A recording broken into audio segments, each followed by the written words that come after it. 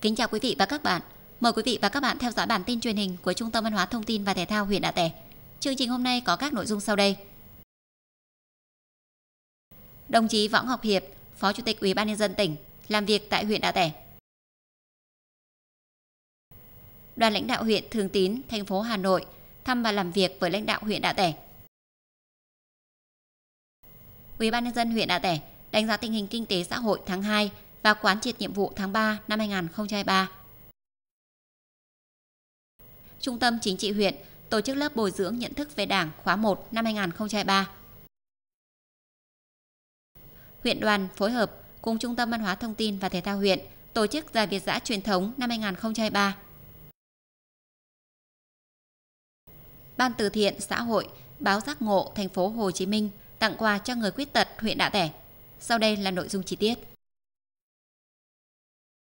Thưa quý vị và các bạn, chiều ngày 2 tháng 3 năm 2023, đồng chí Võ Ngọc Hiệp, Ủy viên Ban Thường vụ tỉnh ủy, Phó Chủ tịch Ủy ban nhân dân tỉnh cùng đoàn công tác đã thực địa tại tuyến đường giao thông DT721 vào khu mỏ vẹt xã Đạ Kho. Đồng thời kiểm tra công tác thu ngân sách, quản lý bảo vệ rừng, kế hoạch đầu tư công trên địa bàn huyện Đạ Tẻ. Báo cáo tại buổi làm việc, lãnh đạo Ủy ban nhân dân huyện Đạ Tẻ cho biết, ngay từ đầu năm, Ủy ban nhân dân huyện đã ban hành kế hoạch trọng tâm phát triển kinh tế xã hội của địa phương nhằm triển khai thực hiện có hiệu quả các chương trình trọng tâm, trọng điểm đảm bảo tình hình quốc phòng, an ninh năm 2023. Về công tác thu ngân sách địa phương, đến hết tháng 2 năm 2023, tổng thu ngân sách trên địa bàn 12,9 tỷ đồng, đạt 14% dự toán giao, so cùng kỳ bằng 87%. Về giải ngân vốn đầu tư công, tiến độ khối lượng hoàn thành và giải ngân đến hết tháng 2 năm 2023 đạt trên 7,5 tỷ đồng, bằng 2% kế hoạch vốn được giao. Trong công tác quản lý bảo vệ rừng, huyện đã duy trì nghiêm chế độ trực và tuần tra rừng tại các khu vực trọng điểm, tăng cường phối hợp với các ngành chức năng và các địa phương tuần tra, kiểm tra, truy quét để ngăn chặn tình trạng phá rừng, khai thác lâm sản trái phép, nhất là trong dịp nghỉ Tết Nguyên đán Quý Mão 2023. Tại buổi làm việc, đồng chí Tống Giang Nam, Chủ tịch Ủy ban nhân dân huyện đã trình bày một số khó khăn vướng mắc của địa phương trong thời gian qua. Sau khi nghe báo cáo của Ủy ban nhân dân huyện Đạ Tẻ, những khó khăn vướng mắc liên quan đã được đồng chí Phó Chủ tịch Ủy ban nhân dân tỉnh, các sở ban ngành giải thích đến địa phương. Đồng thời nêu rõ các biện pháp để giải quyết, tháo gỡ những khó khăn vướng mắc tại một số dự án trên địa bàn huyện. Phát biểu kết luận tại buổi làm việc, đồng chí Võ Ngọc Hiệp, Phó Chủ tịch Ủy ban nhân dân tỉnh yêu cầu các phòng ban của Ủy ban nhân dân huyện Đạ Tẻ ra soát kết quả năm 2022 và 2 tháng đầu của năm 2023. Trong công tác thu chi ngân sách, địa phương cần có kế hoạch cụ thể cho từng tuần, từng tháng, từng quý và có đánh giá tiến độ chống thất thu trong lĩnh vực thuế, nợ động. Cùng với đó, thực hiện tốt công tác mặt bằng, kể cả công trình của huyện làm chủ đầu tư và các công trình do các cơ quan trong tỉnh làm chủ đầu tư. Ngoài ra, lập kế hoạch và giám sát tiến độ nhằm đẩy nhanh giải ngân vốn đầu tư công. Đối với tuyến đường tại Mỏ Vẹt, sau khi trực tiếp kiểm tra, đồng chí Võ Ngọc Hiệp yêu cầu Ủy ban nhân dân huyện Đạ Tẻ khẩn trương đẩy nhanh tiến độ nâng cấp, mở rộng đường giao thông từ đường DT721 vào khu Mỏ Vẹt xã Đạ Kho và cầu yếu của địa phương.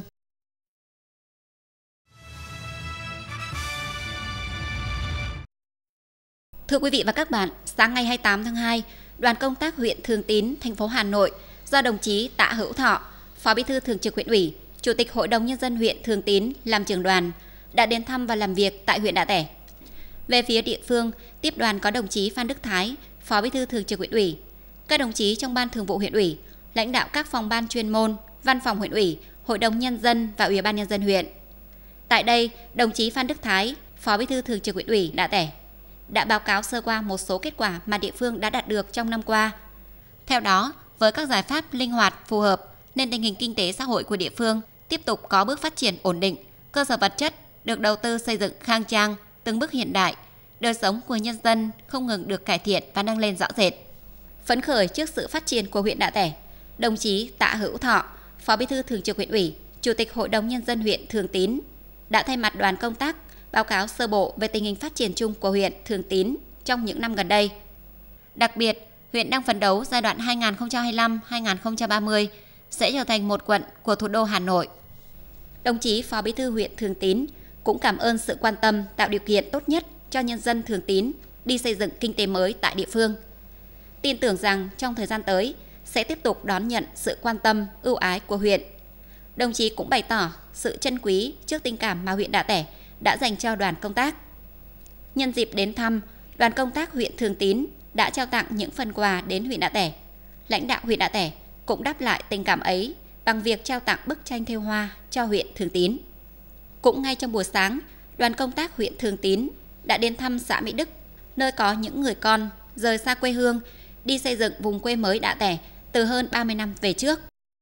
Tại buổi gặp mặt, lãnh đạo huyện Thường Tín đã tặng quà cho Đảng ủy, Hội đồng Nhân dân, Ủy ban Nhân dân, Ủy ban Mặt trận Tổ quốc Việt Nam xã Mỹ Đức cùng đại diện 15 hộ dân từ huyện Thường Tín đi xây dựng kinh tế mới. Ngoài ra, tặng 20 triệu đồng cho địa phương để hỗ trợ các hộ dân cùng quê hương tại địa phương.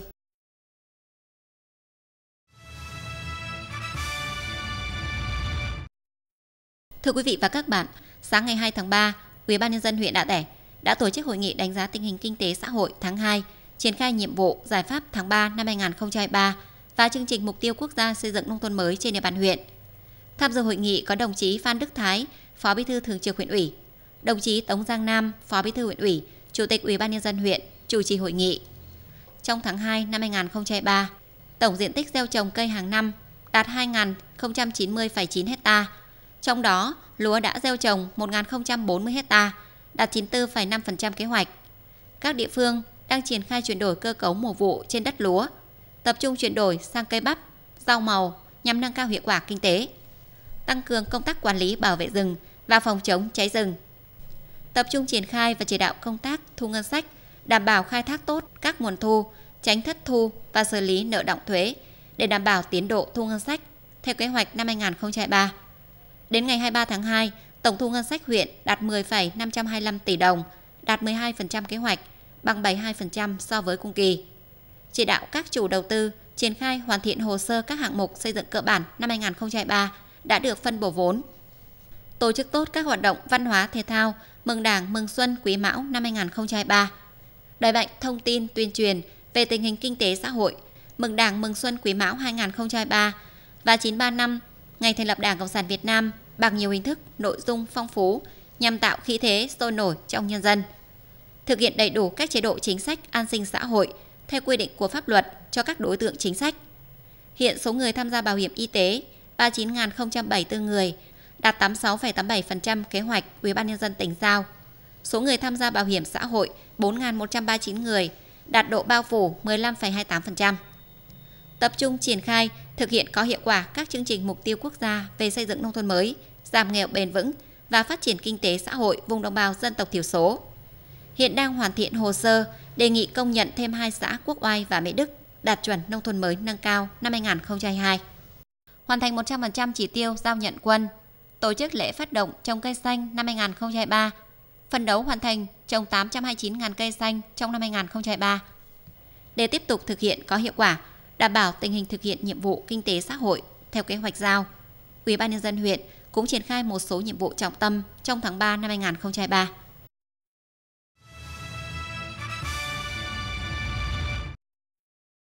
Thưa quý vị, thưa các bạn, Trung tâm Chính trị huyện tổ chức lễ khai giảng lớp bồi dưỡng nhận thức về Đảng khóa 1 năm 2023 cho hơn 80 học viên là những quần chúng ưu tú của các tổ chức cơ sở đảng trực thuộc Đảng bộ huyện Đà Tẻ. Dự lễ khai giảng có đồng chí Hoàng Văn Quỳnh, Ủy viên Ban Thường vụ, trưởng ban tổ chức huyện ủy, lãnh đạo Trung tâm Chính trị huyện cùng toàn thể học viên tham gia lớp học. Trong thời gian 5 ngày, từ ngày 27 tháng 2 đến ngày 3 tháng 3 2023, các học viên sẽ được truyền đạt 5 chuyên đề chính gồm khái quát lịch sử Đảng Cộng sản Việt Nam, cương lĩnh xây dựng đất nước trong thời kỳ quá độ lên chủ nghĩa xã hội, nội dung cơ bản của điều lệ Đảng Cộng sản Việt Nam, học tập và làm theo tư tưởng tấm gương đạo đức phong cách Hồ Chí Minh, phấn đấu trở thành đảng viên Đảng Cộng sản Việt Nam. Kết thúc khóa học, học viên sẽ làm bài thu hoạch, làm cơ sở trung tâm chính trị huyện cấp giấy chứng nhận hoàn thành khóa học. Phát biểu khai giảng lớp học, đồng chí Hoàng Văn Quỳnh, trưởng ban tổ chức huyện ủy nhấn mạnh về mục đích ý nghĩa và tầm quan trọng của việc bồi dưỡng nhận thức về Đảng Cộng sản Việt Nam cho quần chúng có nguyện vọng đứng vào hàng ngũ của Đảng.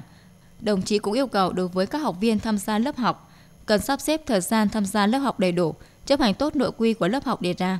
cố gắng tiếp thu tối đa những kiến thức, nỗ lực trong học tập và không ngừng phân đấu, tu dưỡng, rèn luyện bản thân để sớm trở thành đảng viên. Trong thời gian diễn ra lớp học, ban tổ chức lớp học cần thực hiện tốt công tác tổ chức lớp học, đảm bảo thời gian, chương trình, nội dung khóa học. Các giảng viên và báo cáo viên trong quá trình lên lớp giảng dạy cần truyền đạt các kiến thức cơ bản, khái quát đầy đủ, có trọng tâm, trọng điểm để học viên dễ hiểu, dễ tiếp thu kiến thức được học. Sau lớp học, các học viên trở về địa phương đơn vị cần tiếp tục rèn luyện phân đấu hơn nữa và gắn những kiến thức đã được học vào hoạt động thực tiễn trong học tập và công tác.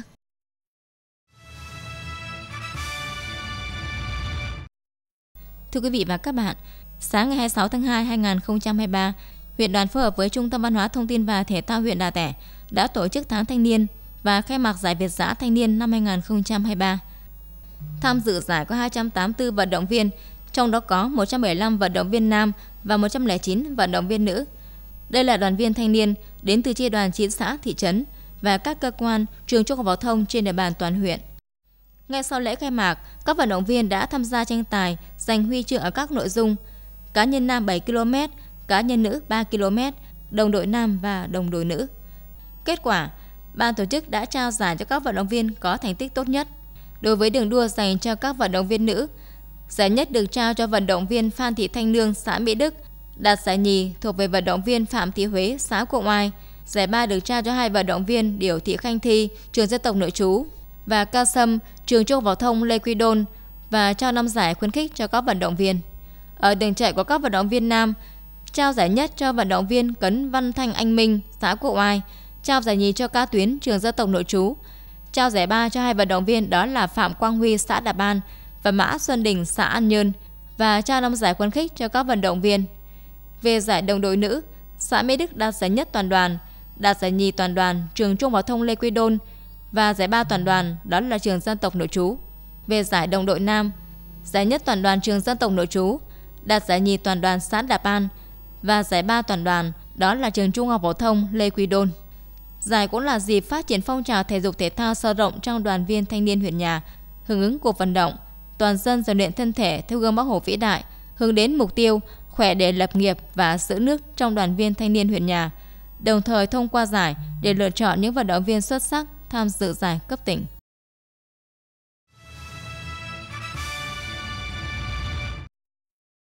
Thưa quý vị và các bạn, vừa qua tại Trung tâm Văn hóa Thông tin và Thể thao huyện, Đoàn ban từ thiện xã hội, báo giác ngộ, thành phố Hồ Chí Minh phối hợp cùng Hội người khuyết tật huyện Đạ Tẻ tổ chức thăm và tặng quà cho người khuyết tật tại địa phương.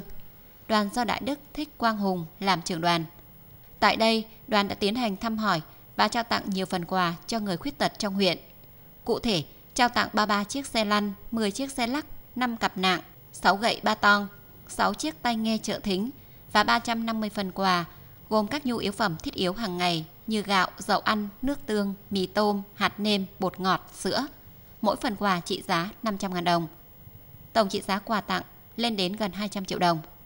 Được biết, những phần quà kể trên do Hội Người Khuyết Tật tỉnh Lâm Đồng kêu gọi vận động sự hỗ trợ chia sẻ từ báo giác ngộ và các nhà hảo tâm đến từ thành phố Hồ Chí Minh.